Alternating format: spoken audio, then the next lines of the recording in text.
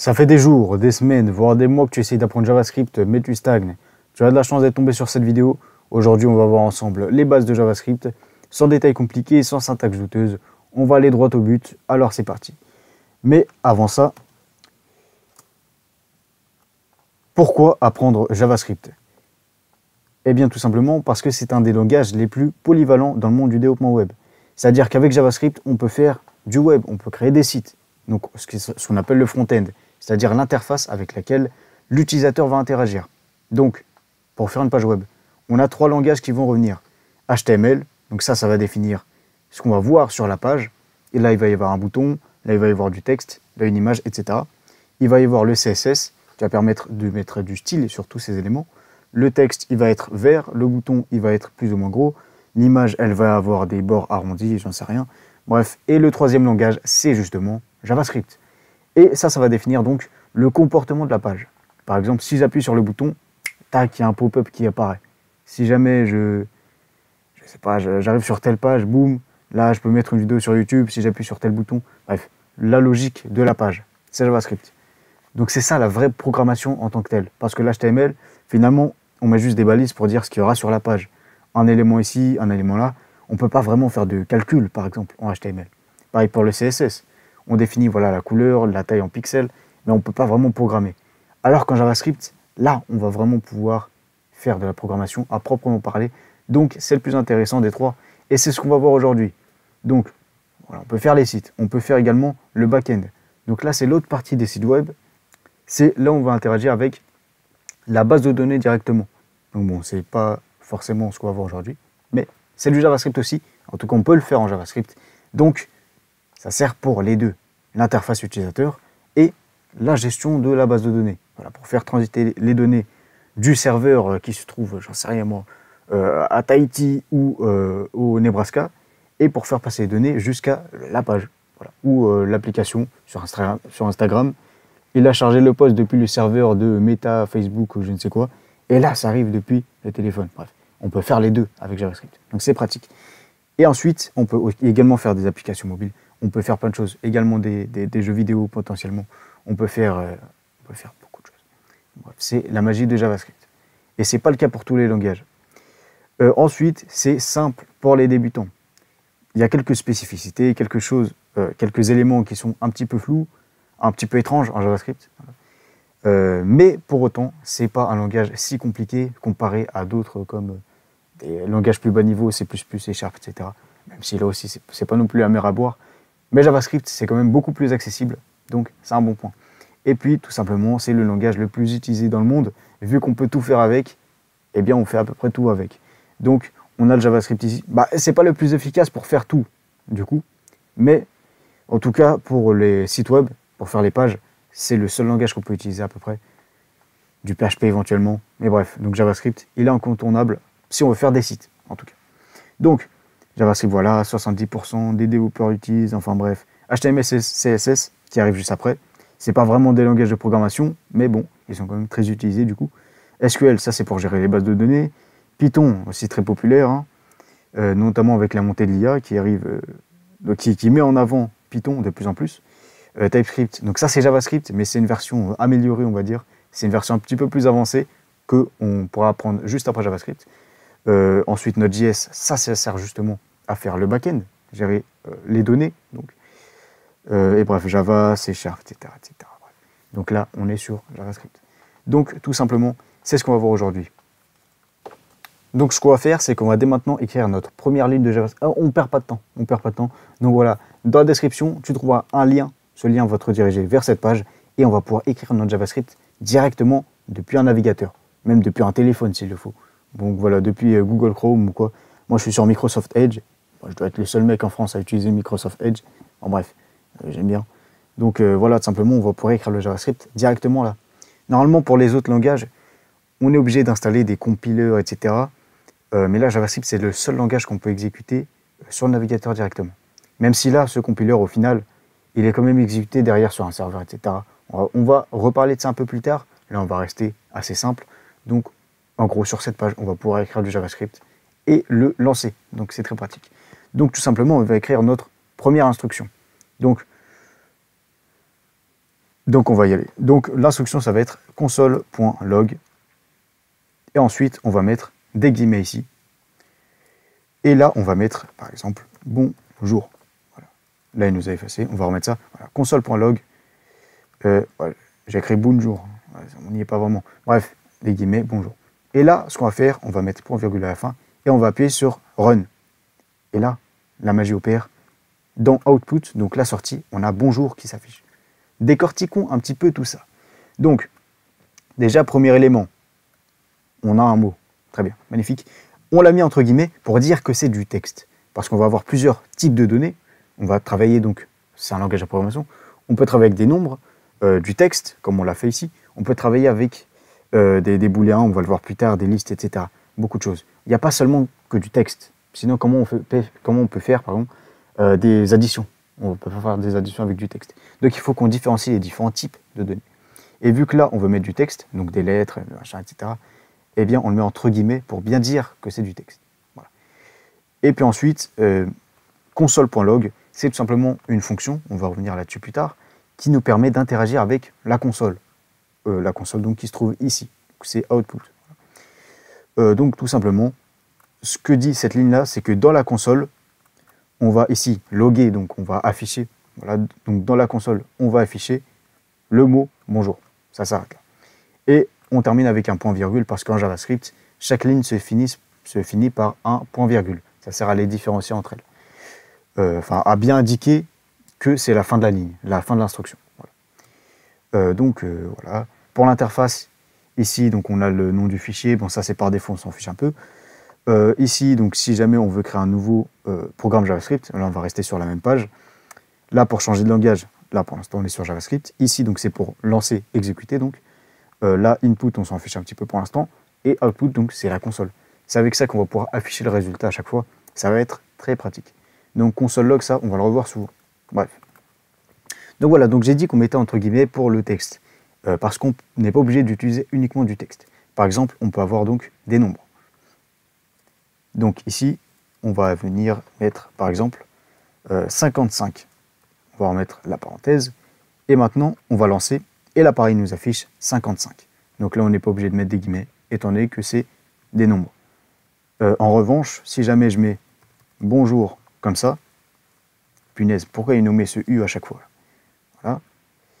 On remet ici, là, run, et là, on a une erreur. Euh, il nous met bonjour is not defined. On va revenir là-dessus plus tard. Mais tout simplement parce qu'on n'a pas mis les guillemets. Donc voilà. Donc les guillemets, on peut en mettre seulement si c'est des nombres, parce qu'il va reconnaître donc c'est des chiffres, on peut pouvoir faire des opérations mathématiques avec, etc. Enfin, opérations mathématiques, euh, des additions, des soustractions, etc. Bref. Donc d'ailleurs, voilà, si on veut un petit truc satisfaisant, on va faire directement un petit calcul. On va mettre 5 plus 9, on va refermer ça. Ici, point virgule, run, 14. Incroyable. Ça nous permet de faire des calculs, tout simplement. C'est le processeur derrière qui a, fait le, qui a effectué l'opération. Donc bref. Donc avec JavaScript, on peut donc afficher du texte dans la console, on peut afficher des nombres, on peut effectuer des additions, et donc on devine vite ce qu'on peut faire aussi, des soustractions. Euh, à chaque fois, il enlève la parenthèse, bref. Donc moins 4, on peut faire des, soustractions, multiplications. On va revenir là-dessus plus tard. Donc, ça, c'est l'interaction avec la console. On peut afficher du texte. Du texte, des nombres, faire des opérations, magnifique. On va donc pouvoir passer à la suite. Euh, et au passage, là, euh, en fait, le point virgule, on n'est pas vraiment obligé de le mettre. Normalement, il reconnaît quand même que c'est la, fin de la ligne, etc. Donc au début, on apprend à le mettre pour avoir le réflexe, mais en réalité, on s'en fiche un peu. ça, c'est le petit sujet tabou, euh, bon bref. Donc là, on a notre compilateur. On peut afficher des éléments dans la console. On a parlé donc des calculs. Donc là, on a fait addition, soustraction. C'est pas le seul truc à faire en JavaScript, bien évidemment. Là, on fait 1 plus 1, 2 plus 2. On va faire des choses bien plus intéressantes par la suite. Là, c'est juste les bases. On peut faire des, opérations magnifiques. On va pouvoir faire beaucoup d'autres choses, bien évidemment. Euh, donc voilà, on a addition avec le plus. On a soustraction avec le moins. On a euh, multiplication ici avec euh, l'astérisque. Donc on va exécuter ça, 35, 5 x 7, magnifique. Et ensuite, qu'est-ce qu'on va pouvoir mettre d'autre? On a les puissances.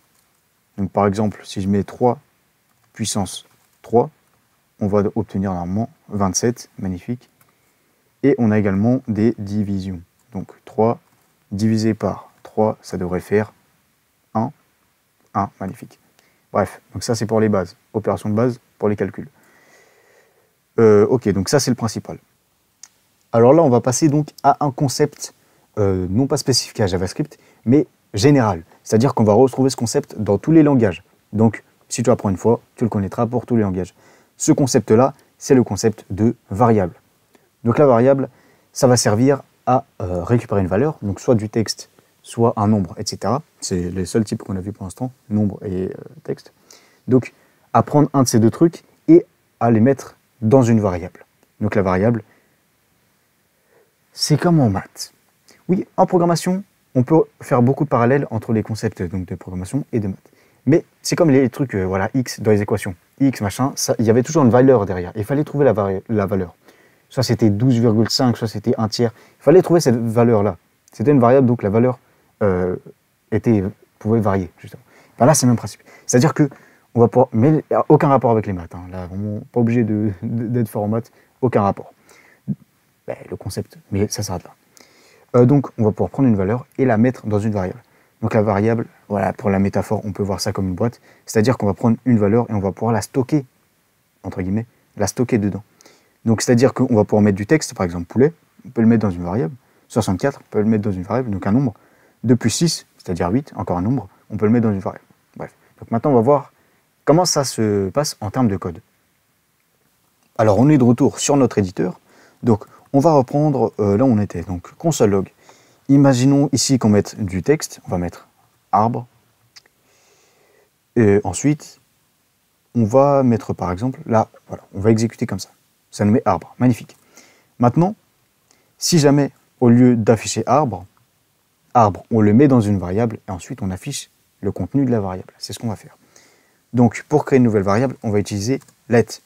C'est comme console log pour afficher dans la console, la let pour déclarer une variable. Donc, on va appeler ça par exemple, mot, parce qu'on va mettre un mot dedans, en l'occurrence. Et là, on va mettre égal, et à côté, on va mettre la valeur qu'on veut mettre dans la variable. Donc, en l'occurrence, on va mettre arbre. On peut mettre la majuscule, on s'en fiche un peu, bref. Et ensuite, c'est mot qu'on va afficher. Donc là, on va voir ce qui va se passer. Le résultat est le même. C'est-à-dire qu'on peut également, on va voir hein, si jamais on change quelque chose, hein, voilà, ça s'affiche bien. Donc, ce qu'on fait ici, c'est qu'on crée une nouvelle variable. Grâce à let, ce qu'on met après, c'est le nom de la variable. Donc une variable qui s'appelle mot. C'est comme si notre boîte là, on l'avait appelée mot. Et donc dans cette boîte, euh, après le égal, donc ça sert, euh, c'est ce qu'on va mettre dedans, on met du texte arbre. Donc en gros, dans mot, on met arbre. Donc dans la boîte qui s'appelle mot, on met le texte arbre, pour l'exclamation. Voilà. Et ensuite, on affiche la variable. Donc en gros, on affiche le contenu de la variable. Et vu que dans la boîte, on avait mis un mot arbre, et là, ça nous affiche le mot arbre. Bref. Et donc, imaginons voilà, euh, qu'on veuille afficher plusieurs fois arbre. Et bien comme ça, on n'a pas à réécrire arbre euh, quatre fois. On peut juste reprendre le nom de la variable. Et voilà. Imaginons ici qu'on ait une phrase. Voilà. Euh, je fais des câlins aux arbres. Imaginons, voilà. On a des petits penchants écolos. Je ne sais pas pourquoi pas. et donc, on veut afficher ça quatre fois. On n'a pas à réécrire la phrase quatre fois, on peut simplement mettre ça dans une variable et ensuite afficher le contenu de la variable quatre fois. Et là, félicitations. J'allais dire un truc. Non, après c'est tabou. Bon, ok, on va en rester à la programmation JavaScript. Ok, magnifique. Donc, voilà, le concept de variable. On peut mettre une valeur à l'intérieur. Magique. Donc là, on a mis du texte. On n'est pas obligé de mettre du texte. On veut mettre, on peut mettre par exemple, on a vu les nombres. On va tester avec les nombres. Donc, imaginons ici, on va appeler ça nombre. Pour l'instant, on n'est pas encore très originaux. On va mettre par exemple 17. Euh, voilà. Et maintenant, bah, j'ai mis 2n. Euh, nombre. Voilà. Et là, boum, 17. Donc le principe est le même. Donc maintenant qu'on a ça, c'est assez pratique, on va pouvoir par exemple euh, reprendre ce qu'on faisait tout à l'heure, donc les opérations mathématiques. Et là, on va mettre donc euh, donc ça au passage, j'ai fait ce qu'on appelle un commentaire. Donc c'est-à-dire que ce qu'on va mettre en commentaire, c'est du texte qui ne sera pas exécuté par la machine. Euh, maté, il manque des lettres. Matique. Bref. Euh, donc, voilà, en mettant les deux slash au début de la ligne, eh bien, on peut mettre du texte qui ne sera pas exécuté. Parce que sinon, là, il aurait fait justement le truc not defined, comme si c'était du texte que j'avais pas mis entre guillemets, etc. Alors que là, vu que c'est, euh, il y a les deux slash au tout début, il sait que c'est un commentaire, il sait que c'est juste pour être lu par le développeur. Tu précises ce que tu es en train de faire, comme ça, si jamais il y a quelqu'un qui passe derrière, il pourra voir, ah ok, donc là, il a voulu mettre les opérations. Mais il manque plein de lettres là. Les. Ah oui, d'accord. Opération mathématiques. Bref. Opération mathématiques. Bref. Donc, voilà, les commentaires, au passage. Et donc là, on va pouvoir remettre ça. Donc, par exemple, euh, lettre somme égale, et là, on va pouvoir mettre, par exemple, 4 plus 4. Voilà. Et donc, maintenant, il est enlevé. Tac. Ça, c'est les autosuggestions. Là, on s'en fiche un peu. Hein. Euh, donc maintenant, c'est ça qu'on va vouloir afficher, imaginons. Donc, euh, somme. Et là, il nous affiche bel et bien 8. Il ne va pas nous afficher 4 plus 4, il nous affiche directement le résultat. Par contre, si j'avais mis ça entre guillemets, donc sous forme de texte, et eh bien là, il nous affiche bien 4 plus 4. En plus, il a repris l'espace là que j'ai laissé au tout début. Donc, c'est vraiment euh, caractère par caractère. Donc, dans le texte, il n'est pas obligé d'y avoir uniquement des lettres. Il peut y avoir des nombres, etc. Il peut y avoir plein de choses. Ok, magnifique. Donc, ici, on va remettre du coup 4 plus, euh, on va mettre, même pas, on va mettre 2 plus 3. Voilà. Ok, donc ça, c'est pour la somme. Ensuite, qu'est-ce qu'on avait encore? On avait euh, le soustraction. Donc, différence. Et là, on va mettre 2 moins 2 moins 3, par exemple. Ensuite, là, je vais fermer là avec les points-virgules. Comme j'ai dit, c'est pas toujours obligatoire. Euh, mais là, on va les mettre pour la rigueur. Voilà, c'est les premières fois. On va essayer de prendre le, réflexe. Euh, mais après, on va avoir des outils qui vont les rajouter automatiquement. Donc. Mais pour l'instant, on va les mettre. Donc, ensuite, lettre multiplication. Donc, produit. Au passage, en dessous de la vidéo, donc sur la jauge de défilement, il va y avoir différentes sections. C'est-à-dire que si jamais tu veux passer à une partie suivante, eh bien, c'est classé. Donc là, au début, il y avait euh, accès à l'éditeur, etc. Ensuite, afficher un truc dans la console. Ensuite, là, on a vu les nombres, euh, voilà, etc., euh, etc., les variables. Et il va y avoir les différentes sections. Donc, tu peux directement naviguer à travers la vidéo, voilà, ou pour retrouver plus tard là où tu en étais. Donc, bref. Donc, reprenons. Lettre produit. Donc là, ça va être 2, 2 fois 3. Magnifique. Qu'est-ce qu'on avait encore? On avait les divisions, donc lettres, comme on appelle ça, quotient. Let quotient égale 2 divisé par 3. Et ensuite, euh, puissance. Let puissance 2 puissance 3. Et on a également let reste égale 2 modulo. Moi, j'aime pas vraiment le nom, mais c'est comme ça que ça s'appelle. Symbole pour cent. Modulo 2 modulo 3. Et donc, ça, ça va nous donner le reste de la division euclidienne. Bref, en gros, euh, donc 2 euh, divisé par 3, bah là, ça va pas nous donner grand-chose. Euh, attends, si on met 10 divisé par, imaginons, 10 modulo 3. Donc ça ferait 10 divisé par 3, ça fait 3,3. Mais si on prend la division entière, on garde que 3 et il reste 1. Donc voilà, donc 3 fois 3 plus 1. Il reste 1 à la fin. Donc ça serait le 1 qui reste. Donc ça, c'est on le voit pas très souvent. Hein. Euh, il y a un seul cas de figure, on le voit, mais euh, bon, bref. Donc, imaginons qu'on veut afficher maintenant tout. bah, au moins, l'avantage, c'est qu'on n'a pas à réécrire tous les calculs. On a juste à venir ici, somme, ensuite, avec une virgule, on va séparer, différence, virgule, produit, virgule, quotient, virgule, puissance, virgule, reste. Et maintenant, on va pouvoir voilà, il va nous faire un petit truc. On va pouvoir afficher tout ça. Euh, unexpected number. J'ai tout simplement oublié le égal. C'est tout. Et là, donc, on a bien les différents résultats. Donc 5, c'était la somme. Moins 1, c'est la différence, etc. etc. Ça, c'était la division. Donc voilà, il a un nombre de décimales limité. On en reparlera peut-être dans une prochaine vidéo. Il y a des moments où, bien évidemment, ça pose problème, ce genre de choses. Mais en tout cas, voilà, pour l'instant, on a l'idée, voilà, 0,66666, etc. Bah, D'ailleurs, Non, pour la symbolique, il faut que je change le nombre. Non, non, parce que là, non, non, on ne peut pas laisser ça afficher comme ça. Voilà, 0,0, c'est mieux. Euh, donc 8 euh, et 1, magnifique. Donc ça, c'était le reste, du coup. 10 modulo 3, donc euh, ça donne 3, 3 3, et il reste 1. Donc, on garde juste le 1, enfin bref. On ne voit pas très souvent, encore une fois. Donc voilà, on a pu remettre nos différents opérateurs mathématiques. On a vu donc le principe des commentaires. On a vu le principe des variables. On peut stocker dans une variable et ensuite réutiliser la valeur contenue dans cette variable. Et pareil, on peut la réutiliser de manière encore plus intelligente.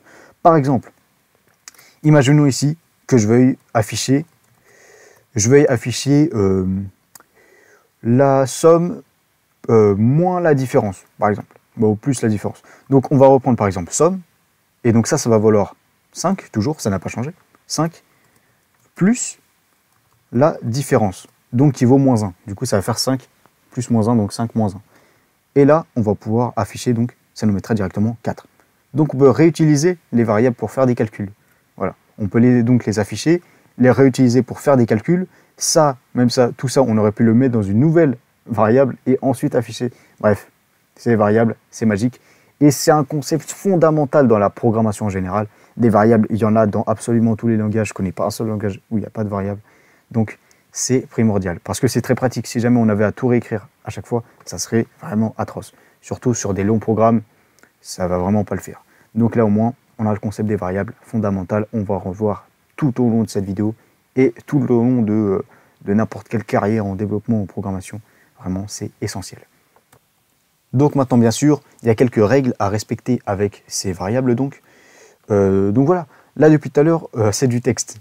C'est du texte, mais il nous dit rien vu que justement, euh, en gros, si jamais ici, je ne mets pas les guillemets, il va justement penser que c'est une variable. Il va penser que c'est un nom de variable, etc. Donc bref. Donc en gros, les guillemets, elles servaient bien à différencier le texte des noms de variables. Donc, maintenant, revenons... Où est-ce qu'on va revenir? On va aller... Ça, on va pouvoir l'enlever. Ici, on va mettre donc euh, les règles pour euh, définir un nom de variable. On ne peut pas l'appeler n'importe comment. Donc, première règle, c'est qu'on ne peut pas utiliser un nom de mot-clé qui existe déjà, comme let. On ne va pas euh, vouloir appeler une variable let, parce que sinon on va se perdre. Donc. On va lui donner, en fait, il faut que le nom de la variable commence forcément par une lettre. Donc, ça ne peut pas commencer par un chiffre. Si jamais je mets somme ici, égale 1, euh, et eh bien là, normalement, là, ça va foirer. Euh, invalide, unexpected token, etc. Donc ça doit forcément commencer par une lettre. Une lettre, donc sans les guillemets, du coup, vu que là, c'est pas du texte. Euh, donc une lettre minuscule. Techniquement, on peut commencer par une majuscule, mais c'est réservé à des, des paradigmes de programmation dont on ne va pas parler aujourd'hui. Mais en gros, si on doit retenir une chose, c'est que le nom de variable, il doit commencer par une lettre minuscule et tout doit être en un seul mot. Si on met un espace, ça va donc pas, ça va casser le nom de la variable. Donc, euh, donc voilà, donc euh, en un seul mot, un mot, ouais, tout simplement. Si jamais on veut mettre plusieurs mots, par contre, ce qu'on peut faire, c'est là séparer en une majuscule. Et là, par exemple, somme, somme et euh, différence. Bon là, ça veut rien dire, mais là, par exemple, là, c'est bon. Vu que c'est toujours sur un seul mot, il n'y a pas d'espace. Techniquement, c'est bon. Et vu que ça ne commence pas par une majuscule, et eh bien pareil, c'est bon. Euh, après, techniquement, on peut commencer également par un tiré du bas, mais euh, on s'en sert assez rarement, et par un symbole dollar aussi. Mais, bref, on s'en fiche un peu. Donc, on va commencer juste par une lettre minuscule, et on garde tout sur un seul mot, tout simple. Donc, bref, maintenant, on passe à la suite. Oh, celui-là, je l'aime bien. Alors, là, on va arriver à un autre concept de programmation fondamental. On a vu les variables, là, on va voir une autre chose absolument fondamentale, c'est les fonctions. Les fonctions, il va y en avoir dans absolument tous les langages. Donc on revient sur le diaporama. Oui, on a fait le, on a fait le travail pour ce tutoriel. Alors, voilà, variable, on stocke une valeur, etc. Et la fonction, c'est le même principe, sauf qu'on ne stocke pas une valeur, on stocke du code directement. Donc un tas d'instructions. Un tas d'instructions, une suite d'instructions. Alors revenons donc sur l'éditeur. Donc là, euh, opération mathématique, bah, il y avait les valeurs, les variables aussi au passage. Là, on va faire une section sur les fonctions. Donc là, on va séparer avec un commentaire pour différencier les différentes euh, parties. Et donc, euh, là, on va créer donc notre première fonction. Et puis, on va comprendre un petit peu à quoi ça va servir. Donc là, pareil, on a un mot-clé, c'est function. Donc, pour les variables, on avait let. Pour les fonctions, on a function. Donc, function, là, on va mettre pareil le nom d'une variable, et, euh, enfin le nom de la fonction plutôt, et là, c'est le même principe, on va commencer par une minuscule, euh, une lettre, etc.. Et ça doit rester en un seul mot, pareil. Donc, imaginons une fonction qui fasse, euh, qui fasse une addition. Donc, on va appeler ça, par exemple, add. Add pour addition. Et là, on va venir mettre ici des guillemets, des parenthèses. Et là, ensuite, on va mettre des crochets pointus. Ça s'appelle comment dans la vraie vie? Accolades. On va mettre des accolades. et voilà. Donc ça, c'est le corps de la fonction. Enfin, c'est justement ce qu'il y a autour du corps de la fonction. Donc ici, le mot-clé, on déclare une nouvelle fonction. Ici, le nom de la fonction, add. Ici, c'est pour mettre les paramètres. On va revenir là-dessus tout à l'heure.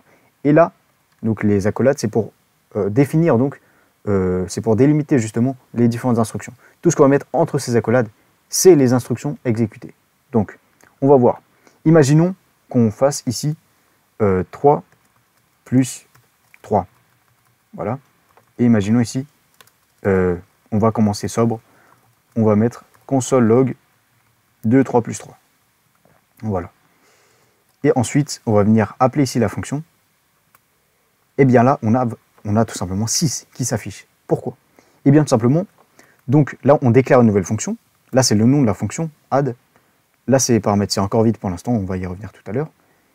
Et euh, donc, à l'intérieur des accolades, on a en l'occurrence une seule instruction, une seule ligne.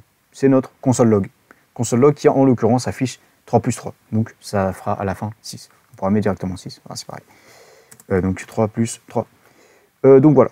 Et donc le principe c'est que cette fonction-là, on va pouvoir l'appeler ensuite.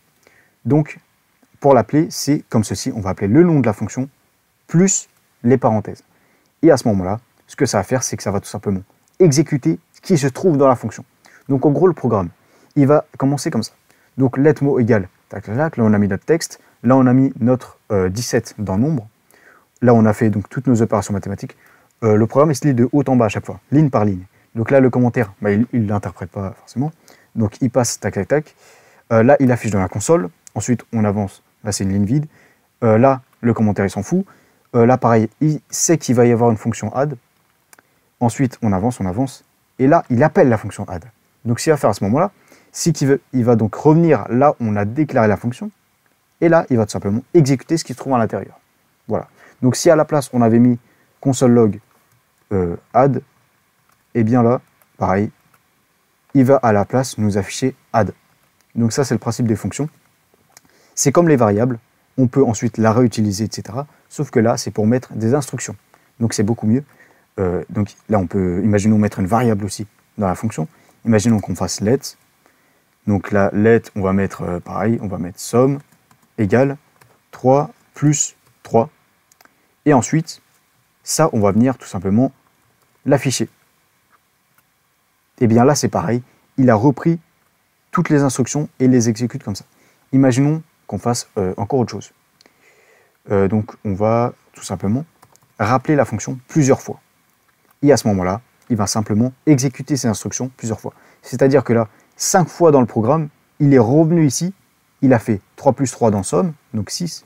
Ensuite, il l'a affiché. Ensuite, il revient là, ligne suivante, ligne 22.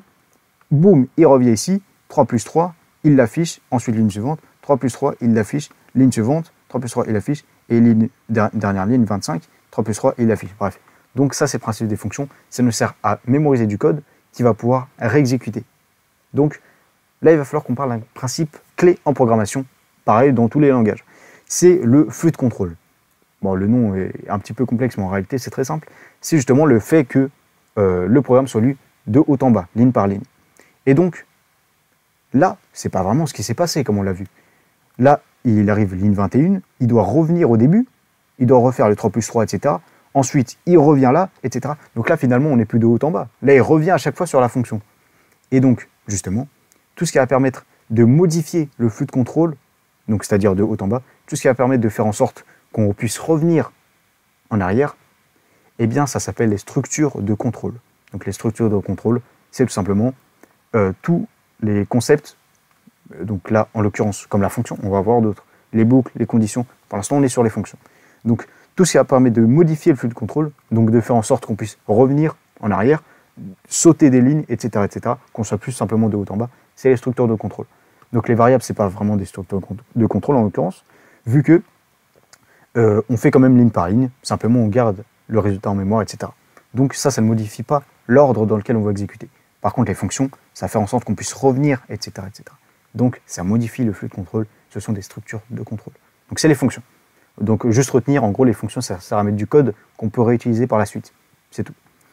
Et donc voilà, c'est le principe des euh, fonctions justement. Et donc là, maintenant, il va y avoir quelques éléments dont on va pouvoir parler. C'est donc déjà, premièrement, je ne sais pas si vous avez remarqué, mais là, j'ai appelé ça ici, la variable, je l'ai appelée somme. Sauf que somme, elle existe déjà.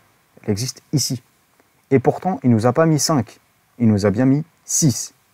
C'est assez étrange. Eh bien, tout simplement parce qu'il y a ce qu'on appelle une portée aux variables. La portée, c'est euh, tout simplement, ça sert à délimiter euh, quelle portion du programme a accès à la variable. Donc en gros, euh, si jamais, imaginons là, au lieu d'appeler ça somme, j'appelle ça 6, parce qu'à la fin ça vaudra 6, et qu'ensuite ici je veux afficher 6, console log 6, si on exécute, 6 n'est pas défini, il ne la connaît pas. Mais pourtant on l'a défini avant, ça existe, let 6 égale 3 plus 3. Donc pourquoi là, elle ne la connaît pas? Tout simplement parce que la portée ici de 6 est restreinte. Elle appartient à la fonction add. C'est-à-dire qu'en dehors, on n'y a pas accès. C'est bloqué, tout simplement, ça appartient qu'à la fonction. Vu que déjà, de toute façon, 6, on va y accéder seulement à la ligne 21, dans tous les cas, bref, l'extérieur du programme n'y a pas accès. Donc la fonction, c'est ce qu'on appelle un sous-programme. Euh, bref, tout simplement, si jamais je détermine, enfin je déclare une variable dans une fonction, à l'extérieur de cette fonction, on n'y a pas accès. C'est tout ce qu'il faut retenir au niveau de la portée. Si jamais je déclare une variable à l'intérieur d'une fonction, on n'aura pas accès à cette variable en dehors de la fonction. Mais vu que là, en l'occurrence, je rappelle la fonction qui utilise elle-même la variable, elle y a accès, donc c'est sa variable. Bref, tout simplement. C'est la portée. Tu pourras très bien revenir plus tard en arrière dans cette si jamais tu n'as pas tout à fait compris le principe, c'est pas très grave. L'avantage, c'est qu'il y a les sections, donc tu peux revenir facilement.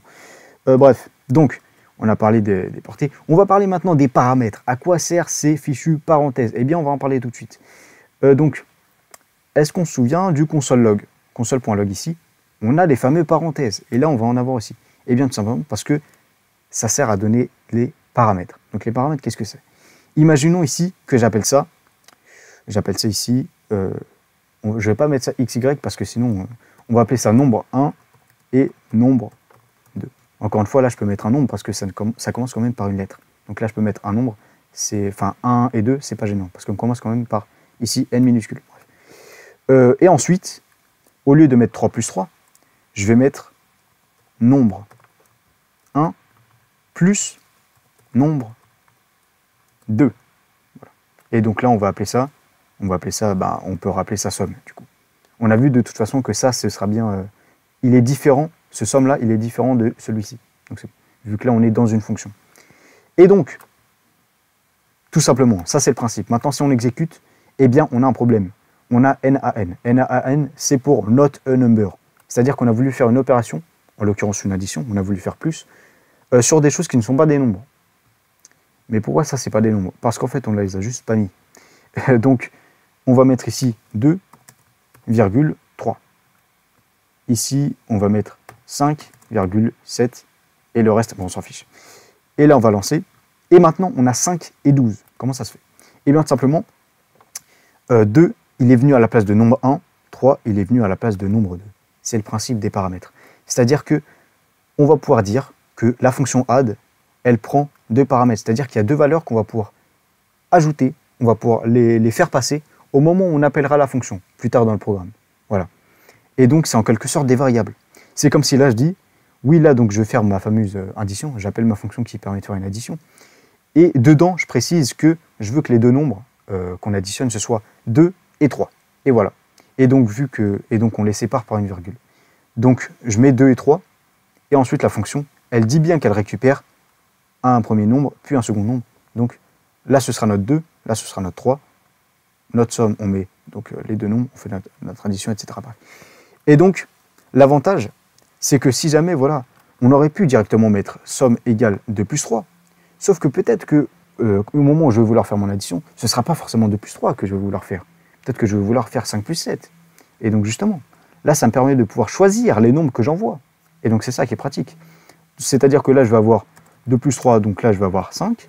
Et là, 5 plus 7, donc je vais avoir 12. Donc, je peux choisir les nombres que j'envoie. Donc, voilà. Donc, je vais avoir 5 plus 7. Donc, là, 5 qui récupère là, 7, parce que c'est dans l'ordre. Donc, là, nombre 1, ce sera le premier paramètre envoyé. Et nombre 2, ce sera le second. Donc là, euh, c'est pareil par la virgule toujours. Donc là, c'est le premier, donc ce sera nombre 1. Là, c'est le second, ça sera nombre 2. Et on sépare par une virgule. Euh, donc, euh, donc, virgule, c'est pas pour voilà, 5,7. Là, c'est pas pour ça. Si jamais on veut faire ça, on veut faire un nombre à, virgule, dans ce cas, on va mettre point. Et là, on a un nombre décimal de, 2.6. Là, on a 5.6. Bon, bref. Donc, c'est bien différent. Si on veut un nombre décimal, donc les nombres à virgule pour nous, en français, eh bien donc euh, c'est euh, avec un point. Donc c'est complètement différent. La virgule, c'est pour séparer les différents paramètres. Donc voilà, donc là, paramètres 2 et 3 qui seront récupérés, on fait l'addition, boum, on l'affiche. Là, on met 5, 7, on fait l'addition, boum, on l'affiche. C'est tout le principe. Donc voilà. On peut en refaire encore un. Hein. Si jamais à la place, on veut faire 18 euh, plus, 18 plus 2, et ben boum, on envoie en paramètres 18 et 2 qui seront récupérés, on fait la somme et on l'affiche. C'est tout le principe des paramètres. Ça permet de faire passer une valeur au moment où on appelle la fonction. Valeur, cette valeur-là, il faut qu'on ait dit au moment de déclarer la fonction, avec le mot-clé function, il faut qu'on ait déterminé, il faut qu'on ait écrit, donc qu'on euh, récupère ces valeurs-là. Si jamais j'ai rien précisé là, donc les parenthèses sont vides, et bien dans ce cas, si j'exécute, et bien pareil, nombre 1 n'est pas défini. Il faut bien qu'on dise qu'on attend les deux paramètres. Voilà. On les attend. Il faut qu'ils mettent un nombre 1 et un nombre 2. Parce qu'après, on les réutilise dans le programme, enfin dans la fonction. Donc il les faut. Donc si jamais, à un moment, dans les paramètres, je ne le mets pas, eh bien là, pareil, il va nous mettre not a number. Il va manquer un nombre. Euh, donc voilà. Donc c'est le principe des fonctions. Eh bien, on a à peu près tout vu déjà, au niveau des fonctions. Il faut juste maintenant qu'on fasse la différence entre ce qu'on appelle les fonctions et les procédures. Pour l'instant, on s'en fiche des termes. Voilà, si jamais tu oublies que c'est une procédure par rapport, c'est pas grave. C'est vraiment pas grave. Simplement, ce qu'on a vu pour l'instant, une variable, ça sert à mettre une valeur, une fonction, ça sert à mémoriser du code, tac, les paramètres, ça sert à faire passer une valeur au moment où on appelle la fonction. Ça, c'est les principes de base. Si tu dois retenir une chose, c'est ces choses-là que tu dois retenir. Donc, euh, maintenant, on va créer du coup euh, une autre fonction. Et là, on va pouvoir voir un petit peu euh, quelle est vraiment la différence. On va retrouver la fonction, le mot-clé fonctionne, on va voir que le nom change, etc., etc. Ça va nous permettre de mieux comprendre comment fonctionnent justement les fonctions. Parce que là, c'était peut-être un petit peu flou jusqu'à présent. Donc la fonction, on va l'appeler par exemple print. Donc print, bah, là, c'est pas pour imprimante. Là, c'est pour dire qu'on va afficher un résultat. Euh, donc, et à l'intérieur, on va récupérer par exemple du texte. Donc en l'occurrence, on met juste euh, ici un nom de paramètre, ce sera texte. Donc pareil, pour les paramètres, c'est le même principe. Euh, faut que ça commence par une minuscule, enfin par une lettre en tout cas, etc., etc. Comme pour les noms de fonctions, comme pour les noms de variables, le nom de paramètres, c'est le même principe, c'est les mêmes règles. Euh, parce qu'au final, le paramètre, c'est comme si c'était une variable, finalement, qu'on va pouvoir réutiliser à l'intérieur de la fonction, etc. Donc, là, pareil, on retrouve nos fameuses accolades, et là, on va remettre, encore une fois, les instructions exécutées au moment où on va appeler la fonction. Donc là, par exemple, on peut mettre console.log. Encore une fois, on va afficher quelque chose dans la console. Et là, ce qu'on va afficher, c'est par exemple texte. Voilà, avec le E à la fin. Et maintenant, à chaque fois que je vais appeler print et que je vais lui passer donc le texte donc euh, n'importe lequel, par exemple, on peut remettre arbre, Et bien ensuite, quand on va lancer, on aura bien arbre. Donc c'est magnifique. Sauf que du coup, je peux afficher maintenant ce que je veux. J'ai une fonction pour afficher ce que je veux. Donc là, je peux remettre par exemple, euh, je peux afficher, euh, j'en sais rien, je peux afficher 6, voilà un chiffre. Boum, il peut nous l'afficher. Parce que là, c'est au format texte, vu qu'il y a les guillemets. Je peux le mettre au format nombre aussi. C'est le même principe. Il va quand même l'afficher de la même manière. Euh, donc voilà, maintenant on peut afficher tout ce qu'on veut. On n'est plus obligé de mettre euh, console log, on peut directement mettre print, et donc c'est beaucoup plus rapide que console log. Euh, bon, dans la vraie vie, on fait pas ça. Là, c'est pour l'exemple, du coup, qu'on s'amuse à recréer. Une... Bref. donc voilà, là, on peut passer ce qu'on veut. On peut passer, par exemple, on n'avait pas une phrase à la base. Si, on a un mot. Bon, le mot, c'est devenu une phrase. Bon, peu importe. Donc là, on va réafficher mot. bref, et donc voilà. Donc c'est le même principe. On passe à un paramètre et il est récupéré ici et il est affiché dans la console. Simplement, c'est le même principe. Donc on n'est pas obligé de l'afficher dans la console. On peut dire que euh, d'abord on va l'attribuer à une variable. Ben, ça ne servirait pas à grand chose de faire ça. Mais voilà, imaginons, euh, on peut l'afficher dans la console. Puis ensuite, bon, on a vu que ça pour l'instant, donc on peut pas faire grand chose d'autre, à part afficher dans la console. Et là, à la place, on peut afficher euh, voilà, le mot, enfin le texte. Puis, bon alors, on a eu un petit souci au niveau de la vidéo. C'est-à-dire qu'on a perdu environ euh, une heure de, vidéo. Donc, en attendant, eh bien, tu peux t'abonner à la chaîne. Euh, d'ici euh, ce que je sorte donc la, suite du tutoriel, que je refilme la suite du tutoriel, etc. sur la chaîne. Donc ça va arriver dans les prochains jours normalement. Donc voilà. Donc si jamais tu as les, notifications activées, tu peux les activer sur la chaîne également. Comme ça, tu seras alerté dès que la vidéo sort. Et puis surtout, tu peux venir sur le Instagram. Le lien est en description. C'est oriano.dev. Tu peux venir en description. Et puis là, je pourrais communiquer tous les jours. De toute façon, en fait, sur le compte, euh, on communique aussi, on a des posts, publications tous les jours qui concernent la programmation, JavaScript, etc. Euh, tiens, je peux montrer sur, euh, sur. On a des stories tous les jours, etc. Donc, dans tous les cas, tu peux venir sur leur Instagram. Et puis là, tu seras prévenu en temps et en heure pour la sortie de la suite du tutoriel, simplement, de la prochaine partie. là, comme tu peux voir, on a les posts. Toujours. Est-ce qu'on voit bien là? Bref. Donc, voilà, lien en description. Donc je mettrai tout ça. Je vais quand même publier cette première partie du tutoriel du coup. Et il y aura la suite qui arrivera, euh, comme j'ai dit, euh, prochainement. De toute façon, c'est la nouvelle année. Là, on est bien. 2024, on commence en puissance. Donc voilà. En tout cas, merci d'être resté jusqu'à la fin. Si tu es toujours là, c'est que tu as plus de patience que la plupart des gens de ton âge. Donc, euh, merci et bonne chance pour bonne continuation. Et viens sur l'Instagram. On pourra discuter là-bas. On fait même des lives. Des lives sur